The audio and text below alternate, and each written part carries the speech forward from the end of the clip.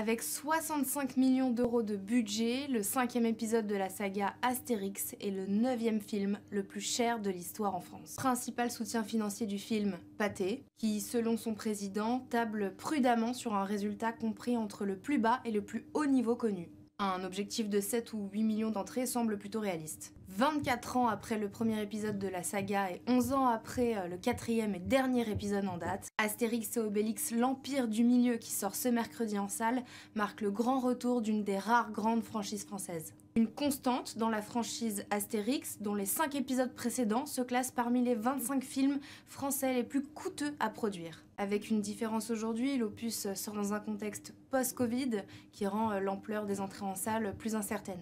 Le réalisateur Guillaume Canet, euh, qui joue également le rôle d'Astérix, s'appuie sur un casting très haut de gamme pour s'assurer d'être bankable avec par exemple la chanteuse Angèle, le rappeur Aurel San, les youtubeurs euh, McFly et Carlito et le joueur de foot Zlatan Ibrahimovic. L'enjeu financier est crucial pour Pathé, qui assume le gros du budget avec le concours de Canal+, TF1, OCS et Netflix. Selon son président Ardavan Safi, Astérix et Obélix, c'est l'équivalent de nos super-héros, toute proportion euh, gardée par rapport aux franchises américaines.